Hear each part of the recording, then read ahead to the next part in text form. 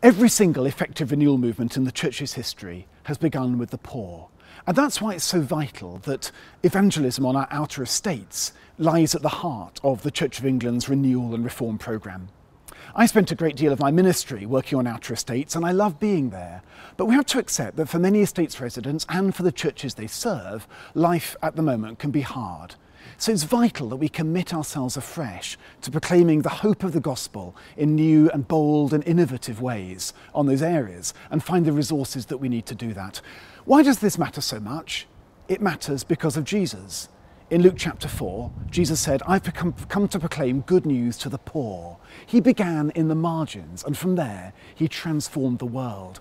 If we want to make a difference in renewing the church in our own day, we need to do what he did. Moreover, the estates form a kind of hard testing ground where new approaches to evangelism can be tried out and experimented. If you can lead a church into growth on an estate, I would say you can lead a church into growth anywhere.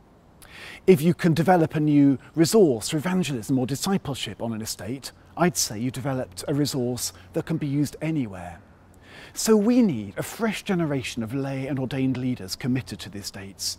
We need to be bold in finding the resources to commit ourselves afresh to ministry in those areas and developing the resources which will and the approaches which will enable effective ministry.